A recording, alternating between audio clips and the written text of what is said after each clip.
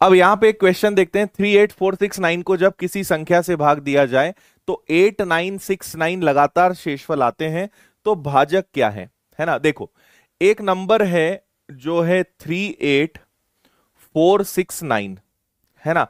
आप इसमें पता नहीं किस नंबर से भाग देते हो तो देखो क्या क्या हुआ होगा। पहले भाग गया होगा तो आपके पास सबसे पहले क्या बचा होगा? एट ठीक है? यहाँ पर क्या बचा होगा? एट बचा होगा। इसके बाद फिर आपने भाग दिया होगा तो आपके पास क्या बचा होगा? नाइन।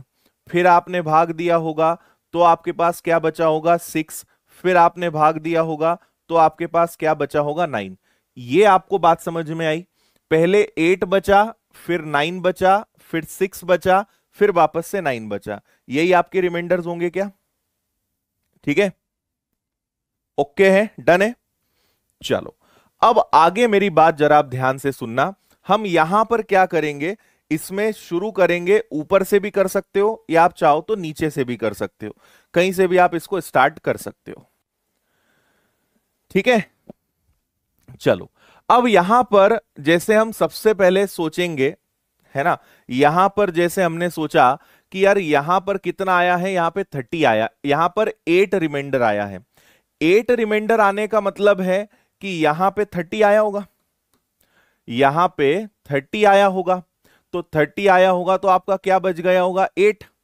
ठीक है? यहाँ पर आपका क्या बच गया होगा? आपके पास एट बच गया होगा। ठीक है? फिर आपने क्या करा होगा? नेक्स्ट टाइम आपने यहाँ पे फोर कैरी करा होगा। है ना? यहाँ पे आपने क्या करा होगा? फोर कैरी करा होगा। अब यहाँ पे 84 है, लेकिन यहाँ पे नाइन रिमाइंडिंग आ रहा है। इसका मतलब यहाँ पे 75 आया होगा। ठीक है? तभी तो यहाँ पे नाइन बच रहा है। सुना ध्यान से। यहाँ पे एट कब बचेगा? जब यहाँ पे थर्टी होगा। तो थर्टी आया होगा तो एट बचा होगा। फिर यहाँ से फोर कैरी हो गया। लेकिन नाइन कब बचेगा? जब यहाँ पे सेवेंटी फाइव आएगा। फिर इसके बाद नेक्स्ट क्या कैरी हो जाएगा? नाइनटी सिक्स तो सिक्स कब बचेगा? जब यहाँ पे नाइनटी आया होगा।